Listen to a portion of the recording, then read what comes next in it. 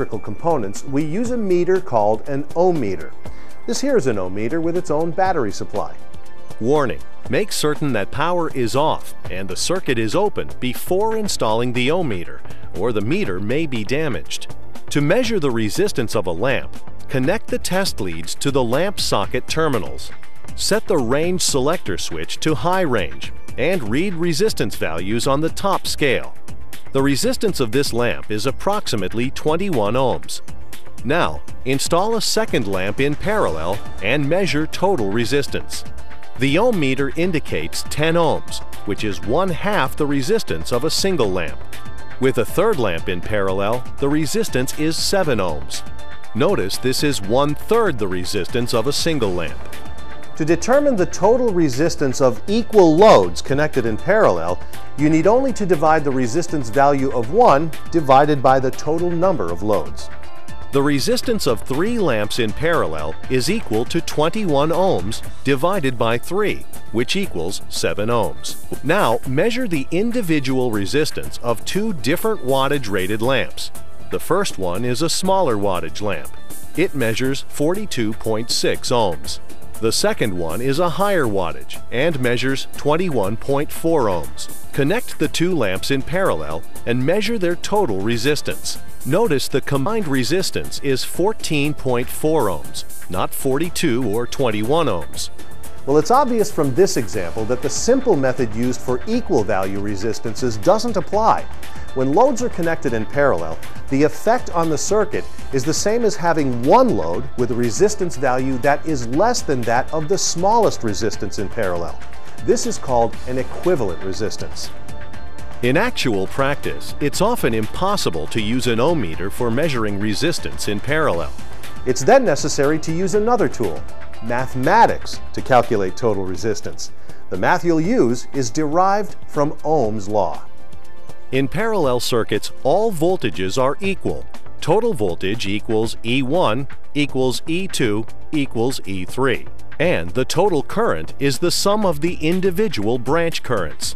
To determine the resistance, substitute the Ohm's law formula for current in each part of the total current equation. Step 1. Ohm's law states that current total equals voltage total divided by resistance total. Therefore, branch current equals branch voltage divided by branch resistance. Step 2. And since current total equals current 1 plus current 2 plus current 3, step 3, by substituting Ohm's law for the values of current, you obtain voltage total over resistance total is equal to voltage 1 over resistance 1 plus voltage 2 over resistance 2 plus voltage 3 over resistance 3. Step 4. Since voltage is the same in each part of the circuit, both sides of the equation can be divided by voltage E, leaving Step 5. 1 over 1 over resistance 1 plus 1 over resistance 2 plus 1 over resistance 3 equals resistance total. This formula is used to determine the total resistance of loads in parallel. For example, what is the total resistance of three loads? 10 ohms, 20 ohms, and 25 ohms. Step 1. Substitute the values in the formula. Step 2. Convert the fractions into decimals by using division. Step 3. Add the three decimals together. Step 4. Solving for RT by using reciprocals, RT is equal to 1 over 0.19, which equals 5.26. Another method used to determine total resistance when there are only two unequal resistances is called the product sum method. To use this method, first multiply the values of the two resistances to get their product. Then add the values of the two resistances to get their sum. Finally, divide the product by the sum, and the result is the total resistance. The product sum formula is derived from the reciprocal method, starting with the formula 1 over RT equals 1 over R1 plus 1 over R2. Simplify the equation by eliminating the fractions using the common denominator. Therefore, 1 over RT equals R1 plus R2 over R1 times R2. Next, Cross-multiply the equation and you get RT times R1 plus R2 equals R1 times R2. Dividing both sides of the equation by R1 plus R2, and the answer is RT equals R1 times R2 over R1 plus R2. This is the product sum formula.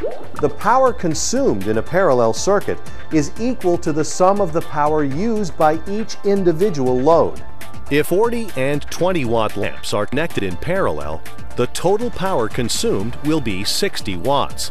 The total power of a circuit can be calculated by multiplying the values of source voltage and total current together. If the circuit current is measured and the total circuit resistance is known, then power total equals total current squared times resistance total. If the source voltage and total circuit resistance is known, then power total equals voltage total squared divided by resistance total. An open circuit in a parallel circuit will have a different behavior than in a series circuit, depending on the point where the break or opening occurs. A parallel circuit has more than one current path, Therefore, if one of the paths is opened, current will still flow in the circuit. If the circuit is opened at a point through which total circuit current flows, the entire circuit is opened and all current flow stops. If any load in a parallel circuit becomes shorted, the entire circuit is shorted. The reason for this is that each parallel load is connected directly across the power source terminals. So when one branch becomes shorted, the circuit resistance drops to practically zero. When fusing a parallel circuit, the fuse must be connected at a place where total circuit current flows and must be rated to handle the total current. If each branch load must be protected, then each branch must have a fuse that is rated for that particular load.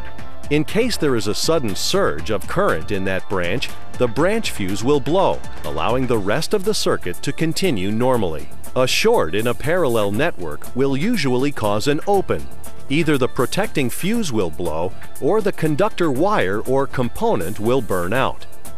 Because a parallel circuit has more than one current path, it's difficult to locate a short without a systematic check of each branch. To locate a short in this three